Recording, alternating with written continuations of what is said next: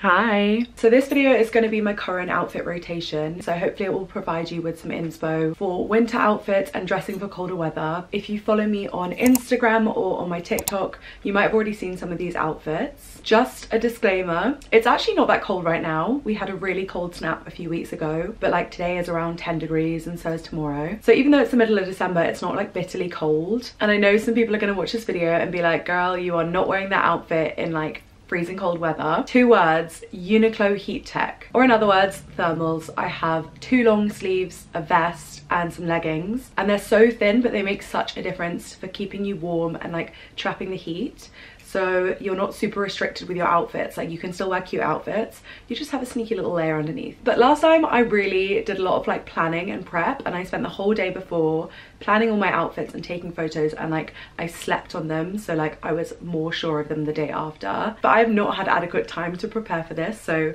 if you're watching this and you're like mm, that one's a little bit questionable then that's so fine because I might be right there with you. And I'm certain that we're due some freezing cold weather in January and February. So when that time comes, I'll do another current outfit rotation, but for like freezing cold weather. Okay, I hope you enjoy the video. Don't forget to click like and subscribe if you haven't already and leave me a comment down below. Let me know which one was your favorite look. Okay, one last thing. I'm sorry the lighting is a bit all over the place in this video.